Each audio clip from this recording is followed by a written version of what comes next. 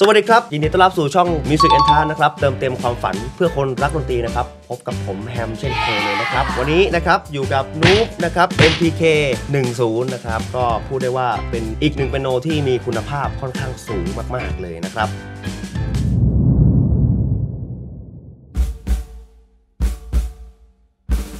อะเพื่อไม่ให้เป็นการเสียเวลานะครับแล้วก็มาดูในส่วนของการใช้งานว่าเจ้าตัวนี้ทำอะไรได้บ้างนะครับตัวนี้จริงๆมีระบบที่เรียกว่าระบบบลูทูธได้ด้วยนะครับก็สามารถที่จะเชื่อมต่อกับใครมี iPhone iPad หรือ Android ก็สามารถใช้ได้เหมือนกันนะครับโหลดโปรแกรมของเจ้าตัวนูบมา แล้วเราก็กดเข้าไป วิธีการเข้าบลูทูธก็ปกติทั่วไปไม่มีอะไร เหมือนเราเชื่อมบลูทูธกับ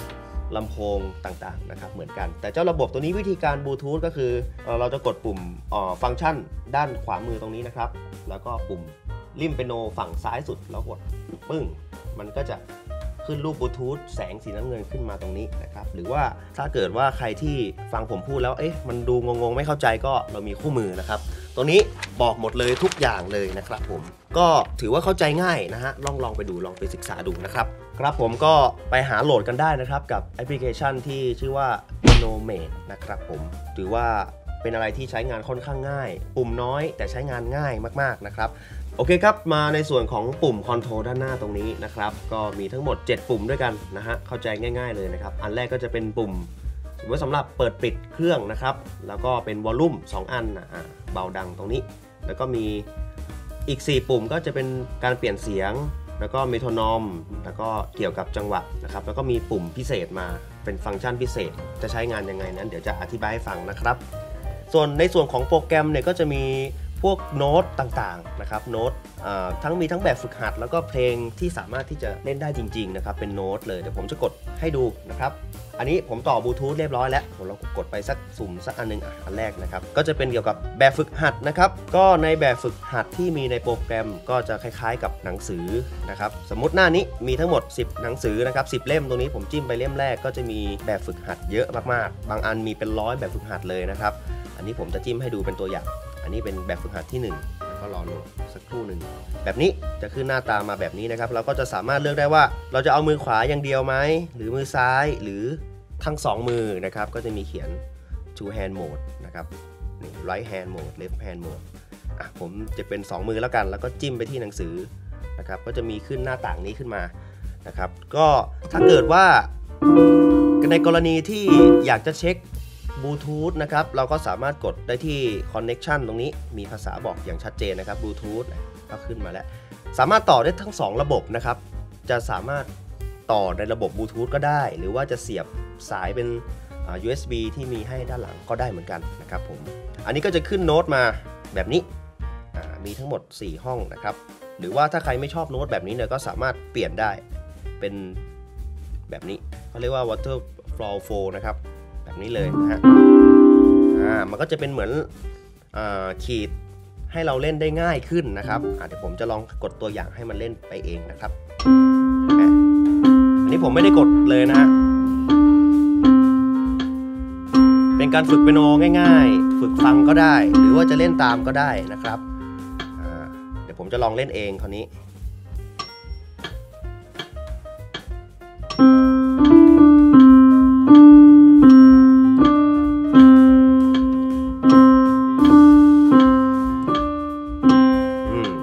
นะครับ หรือว่าถ้าใครถนัดแบบอ่านโน้ต เราก็สามารถกดอ่านโน้ตได้เหมือนกัน หลังจากที่เราเล่นเสร็จทุกครั้งที่เราเล่นเสร็จ ในแต่ละบทเพลงบทเพลงเนี่ยเราเขาก็จะมีสกอร์ให้ว่าเราทำอะไรได้ดีมากน้อยแค่ไหนนะครับ เป็นเหมือนคะแนนนั่นเองนะฮะ ก็พิชเท่าไหร่ตรงนี้ ตรงเสียงเท่าไหร่ดิทึมตรงจังหวะไหมนะครับ แล้วก็น้ำหนักเสียงนะครับ เป็นยังไงก็จะขึ้นสกอร์แบบนี้เลยนะครับ ถ้าจะกดเล่นใหม่ก็กด เพย์เกนนะครับก็เล่นใหม่ได้เลย ก็จะเป็นประมาณนี้นะครับ ส่วนถ้าใครที่อยากอ่านเป็นโน้ตแล้วก็กดกลับคืน แล้วก็สามารถเล่นเป็นโน้ตได้อย่างปกติ มีทั้งเลือกความเร็วได้นะครับ แล้วก็เมทรนอมปิดได้ สามารถปิดเมทรนอมได้ เปิดได้ประมาณนี้ มีเล่นให้ฟังก่อนได้ หรือว่าเราจะเล่นตามก็ได้ หรือถ้าเกิดว่าเป็นเพิ่งเล่นเรียนเป็นโนใหม่ๆเนี่ยก็จะมีระบบที่เรียกว่ากดตามมือนะครับ จะเป็นระบบนี้กดตามมือนะฮะถ้าถ้าเกิดเราไม่กดมันก็จะไม่ขยับ ฮะผมกดโดขยับแล้วผมกดรีไปก่อน แบบนี้นะครับผมก็จะขยับตามมือแบบง่าย ๆเลยนะฮะประมาณนี้นะครับผมสำหรับการใช้แอปพลิเคชัน จริง ๆ แล้วมีบทเพลงที่เยอะมากๆนะครับ ด้านหลังๆมาพอพอเป็นหน้าต่างที่ 2 ที่ 3 ก็จะมีเพลงที่ยากมากขึ้นเรื่อยๆนะครับโอเค ประมาณนี้นะครับสำหรับแอปพลิเคชัน เจ้าตัวนี้นะครับ Piano Mate นะครับก็ มีเพลงให้เลือก คิดว่าในอนาคตน่าจะมีอัปเดต เพราะว่ามันเป็นแอปพลิเคชัน ผมว่าน่าจะมีการอัปเดต น่าจะมีการแบบอนาคตอาจจะมีการเปลี่ยนเสียงที่มากขึ้นหรือเลือกเสียงได้อะไรอย่างเงี้ยนะครับ ก็ต้องรอติดตามดูนะครับกับเจ้าโปรแกรม NUX ด้วยนะฮะอะหมดไปนะครับสำหรับการใช้โปรแกรมร่วมกับเจ้าตัวนี้นะครับ แล้วก็มาถึงเรื่องอการเล่นเปียโน เจ้าตัวเนี้ยทำอะไรได้บ้าง ถ้าเกิดว่าใช้แบบแมนนวลไม่ต้องอิงโปรแกรมไม่ต้องอิงบลูทูธเลยนะครับ ตัวนี้ก็ทำอะไรได้ เยอะมากนะครับ ก็ทั้งเปลี่ยนเสียงได้ตอนนี้นะฮะ เปลี่ยนเสียงมีจังหวะในตัวด้วยนะครับ แล้วก็เปิดเมโทรนอมทำอะไรได้หลายอย่างมากอะเดี๋ยวเรามาลองเริ่มเล่นกันเลยนะครับ อันดับแรกเลยนะฮะวิธีการเปลี่ยนเสียงเจ้าตัวนี้นะครับพีเซตนี้มีทั้งหมดรู้สึกน่าจะประมาณ 7-8 เสียงนะครับก็อันนี้เป็นเสียงแรกใช่ไหมวิธีการเปลี่ยนเสียงของเจ้าตัวเนี้ยนะฮะก็คือ มันจะมีชื่อบอกนะครับ ตรงนี้อาจจะไม่เห็นไม่เป็นไรนะครับ ตัวนี้จะมีชื่อบอก ก็ชื่อของเสียงที่เราจะเลือกมันก็จะอยู่ในริมตามที่คู่มือได้บอกไว้นะครับ ก็จนถึงตั้งแต่ตัวโดถึงตัวซอนเนี่ยจะเป็นคนละเสียงเลยเราลองกดดูนะครับ กดวิธีการเปลี่ยนเสียงก็คือกดรูปเปียโนค้างไว้ แล้วก็กด สุ่มมาสักเสียงหนึ่งอันนี้เป็นเสียง synthesizer นะครับ เป็น synth pad เปลี่ยนไปอีกนะฮะ อ่านี่เป็นเสียงออร์แกนนะครับ ก็สุ่มไป ลองกดให้ฟังดูอ่านี่เป็นเสียงอิเล็กทริกเปียโนนะครับ แล้วก็สามารถผสมเสียงได้ด้วยนะครับ โดยการกดรวบกันเลยนะฮะ สมมติผมอยากได้เสียงอิเล็กทริกเปียโนกับเสียงซินแพดเมื่อกี้ ผมก็กด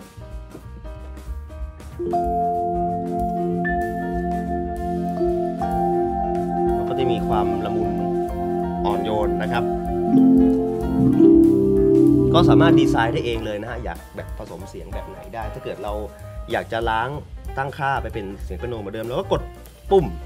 ทีเดียวเสียงกดปุ่มเปียโนก็จะกลายเป็นเสียงเปียโนเหมือนเดิมนะครับอโอเคใช้งานง่ายนะครับ ต่อไปเป็นระบบเมโทรนอมนะครับเมโทรนอมก็กดจิ้มไปมันก็จะขึ้นเสียงมาให้แบบนี้ครับ ก็สามารถลดเสียงได้นะฮะ แบบนี้ อันนี้ลดจังหวะนะครับ ช้าลง เร็วขึ้น เร็วขึ้นแล้วนะครับ สามารถเบาเสียงได้นะฮะเห็นไหมเสียงเบาทันที แต่ว่าเสียงเปียโนยังคงอยู่เหมือนเดิมนะครับ แล้วก็สามารถทำให้คืนเสียงให้มันดังเหมือนเดิมได้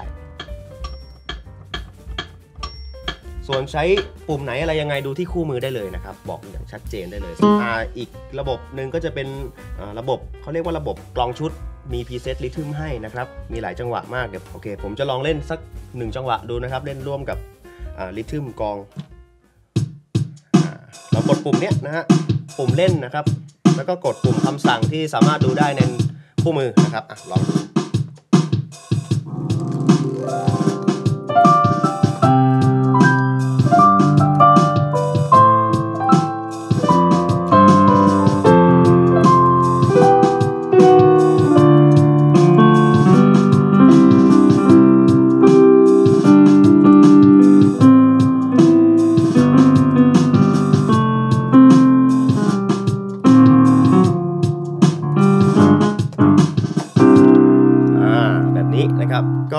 ไว้ซ้อมก็ได้นะฮะ เอาไว้แบบว่าสร้างสารรค์คีเอทผลงานได้เลยนะครับ อีกสักจังหวะหนึ่งแล้วกัน เป็นอันนี้แล้วกัน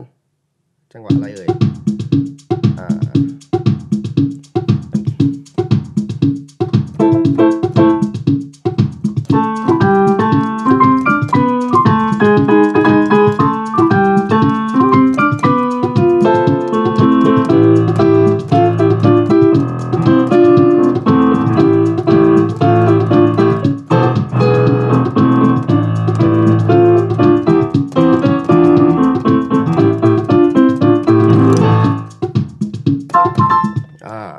ายจังหวะมากนะครับ นอกจากที่จะมีจังหวะพวกนี้เราก็จะมีจังหวะประเภทที่แปลกๆ อย่างเช่น 68เอ่อ34 จังหวะวอลหรืออะไรพวกนี้นะครับ มีหมดเลยนะครับผมอะประมาณนี้นะครับกับปุ่มคำสั่งเจ้าตัวจังหวะนะครับ จริงๆมีในตัวนี้มีเดโมของของตัวเครื่องอยู่แล้วนะครับเดี๋ยวเปิดให้ฟังสักอันหนึ่งแล้วกัน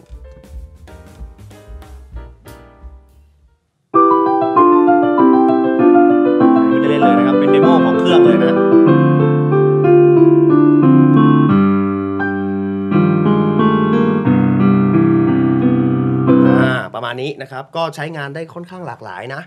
ไม่ค่อยซับซ้อนเท่าไหร่นะครับ ก็มาถึงกันในปุ่มสุดท้าย ปุ่มฟังก์ชัน เป็นปุ่มฟังก์ชันพิเศษที่ใช้ควบคุมหลาย ๆ อย่างนะครับผม อย่างเช่นการเปิดบลูทูธ การใช้ปิดเปิด reverb อะไรยังไงอย่างเงี้ยจะสามารถ control ได้ที่ปุ่มเนี้ยปุ่มเดียวเลยนะครับ แล้วก็ความพิเศษของเจ้าตัว NUX ตัวเนี้ยพิเศษที่สุดคือ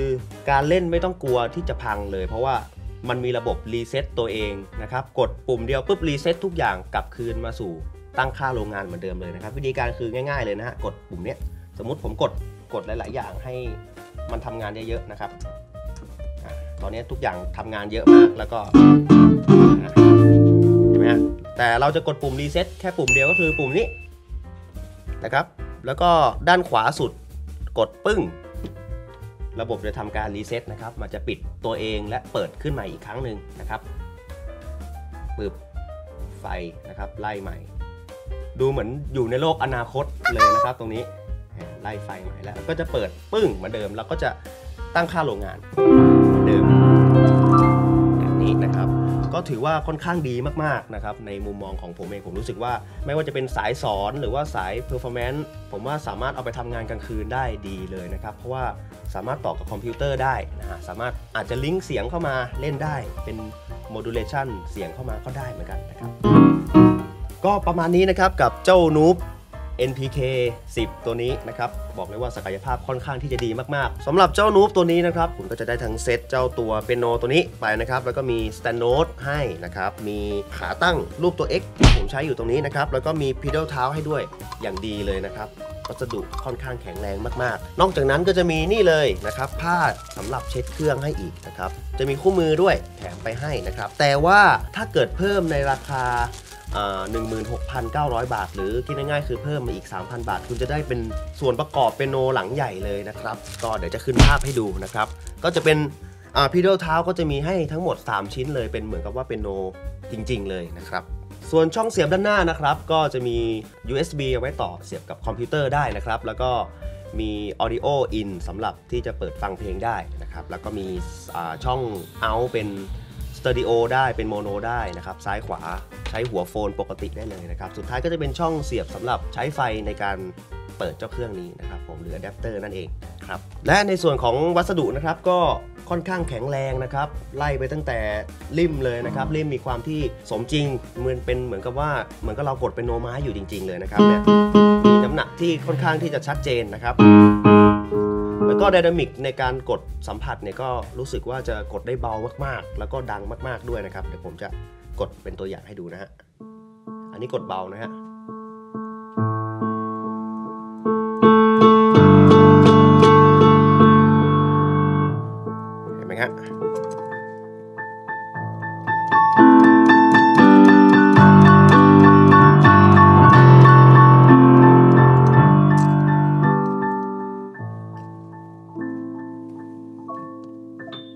มีความละเอียดนะครับ มีความชัดเจนในเรื่องของเสียงค่อนข้างมากนะครับ วัสดุก็แข็งแรงนะฮะ ตรงนี้ก็จะเป็นเขาเรียกว่าเป็นเป็นสีสีดำด้านนะครับ ส่วนตรงนี้แล้วก็มีเป็นเหมือนกับว่ามีเงากระจกตรงนี้สวยงามดูดี มีดีไซน์ที่ค่อนข้างที่จะทันสมัยมากๆนะครับสำหรับใครที่สนใจก็สามารถสั่งซื้อได้นะครับ หรือสามารถทักมาสอบถามข้อมูลรายละเอียดได้ ตอนนี้มีทั้ง Facebook YouTube เว็บไซต์เราก็มีแล้วนะครับ สามารถอินบ็อกซ์เข้ามาถามได้เลยนะครับผมแล้วก็ที่สำคัญที่สุดถ้า คุณชอบคลิปนี้นะครับ ก็อย่าลืมฝากกดไลค์กดแชร์นะครับ กดปุ่ม Subscribe แล้วก็กดปุ่มกระดิ่ง เพื่อไม่พลาดรับชมคลิปใหม่ๆจากพวกเราด้วยแล้วกันนะครับสำหรับวันนี้ก็ลากันด้วยสักหนึ่งท่อนเพลงนะครับ หรือสักครึ่งเพลงนะฮะให้ได้ฟังกันว่าเสียงที่ผมจะเล่นต่อไปนี้ บอกเลยว่าไม่ใช่เสียงที่ต่อเข้าคอมพิวเตอร์นะครับ เป็นเสียงที่ออกจากเจ้าตัวนี้เลยนะครับ แล้วก็จอไมค์เจ้าตัวนี้โอเคเอาไว้เจอกันครับผม